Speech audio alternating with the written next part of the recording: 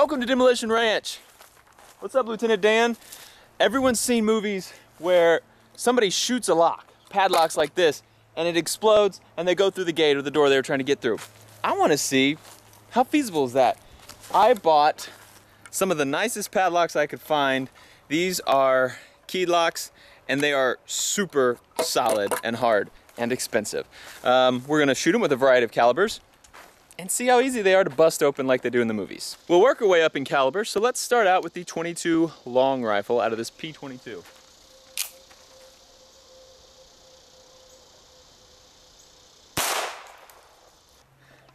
Barely made a dent in there. Not only is it still locked, I would bet that it still works.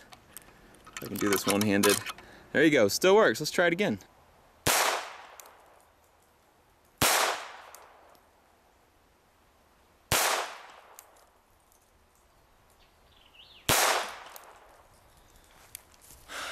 I don't think it's gonna budge. this is awesome. There is lead stuck on here. That is lead. That's metal from the 22 bullet, not from the lock. There's some more up here, just a big blob of lead. So there's at least three solid hits on this thing. I tried to put the key in, but the key will not go in there anymore. So still locked, but it is no longer functional. You can't unlock it anymore. So as expected, our 22 did not open up our hypothetical gate but it did damage the lock on said gate, so the owner of the gate cannot get through to his own property anymore.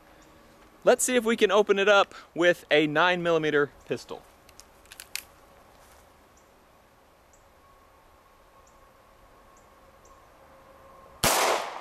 Square hit right on the front here. There is more lead stuck on it. Um, not even close to opening this thing up though. Let's try some more. All right, we have first real damage on this lock. Busted the bottom two tabs out of this thing. Still solid as a rock though. Still locked. Nailed it right there. You can see this bar coming down inside right there. Split it open a little bit. Still locked solid. I think we need something with a little more power. Like 556 out of a 16 inch barreled Keltec SU16C. Same lock, going at the top one again. Well, the 556 definitely had more success than the other two. Looks like it went clear through this lock. But, is it still hooked on? Yeah, that thing is not unlocked yet. That might have done it. Are we unlocked? it's looking like it. Uh, not really.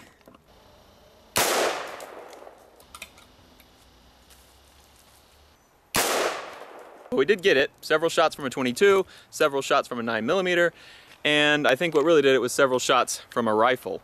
Um, probably disproves the bad guy running up with a 9mm, shooting a lock and running through, um, unless it's a really crappy lock. This one was not, so if it's a solid lock, you're gonna need at least a rifle and you're gonna need several rounds.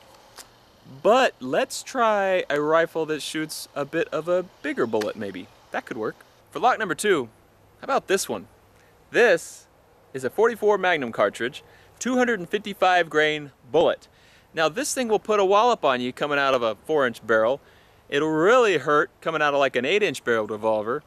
But can you imagine it coming out of a 20 inch barrel. This is a Henry Big Boy Steel 44 Magnum with a 20 inch barrel going at lock number two.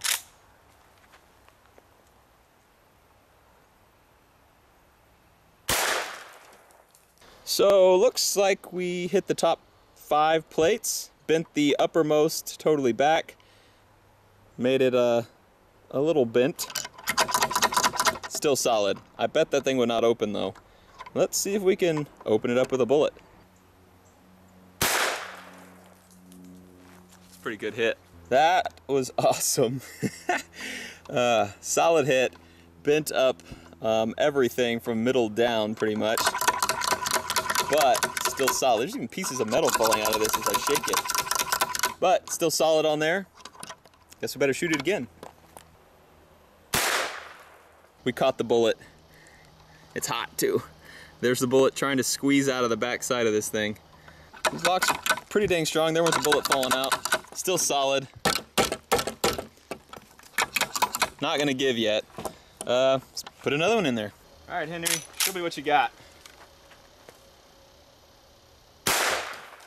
Have to shoot a little bit higher.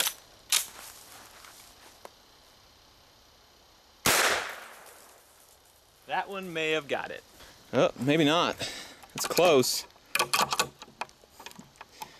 It's really close. Pieces are falling off. Let's see if we can give it a little help. There it is. So there you go. That'll tell you that even with one of the most powerful handgun cartridges in the world, the 44 Magnum, one shot won't cut it. I think we hit it with what, four or five shots? And it was out of a 20 inch barrel, meaning it had maximum velocity. That is a pretty gun. Don't you agree? So maybe we need to hit it with something that has a little bit more oomph on our third lock. So what's bigger than a 44 Magnum? What about a one ounce slug out of a 12 gauge shotgun? Shotguns are known for shooting locks, padlocks, regular door locks. Um, they do it in real life, they do it in the movies, and they're definitely always in the movies a one hit successful entry. So what about real life? There's only one way to find out.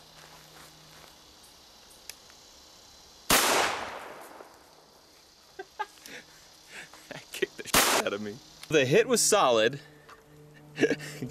right there in the front, crushed probably 75% of these little bars and made a huge dent where this thing slammed back into the wood here, but did not unlock it. That is crazy. It also split our board where this eye hook was going in there. That was a lot of power. I guess we better shoot it again. Round two.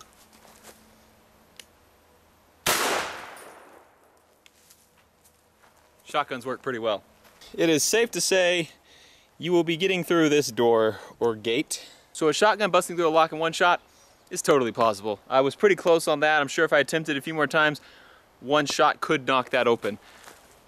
But I just wonder if there's something that's even better at opening locks with one shot. Hmm. Maybe like a Barrett 50 BMG. That could be more powerful.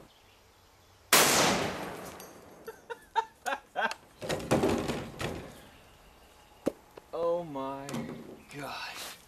Let's check it out. well, our 2x6 is totally dead. The lock is gone. There are pieces of it everywhere. There's some pieces over here. There are pieces of it in this tree over here. Some on the ground there. Ah, look at that. There is the hook totally bent up. I wish I had a slow motion camera because I bet that was pretty awesome. So basically, as far as locks go, there are some guns that are one hit kills. Thanks for watching Demolition Ranch. I had a great time making this episode. I hope you enjoyed it as well, and I will see you next time. Contact! what about the quad?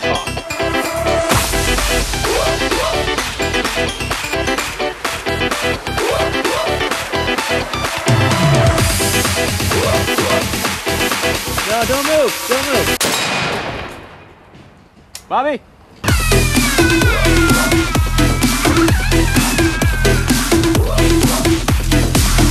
back.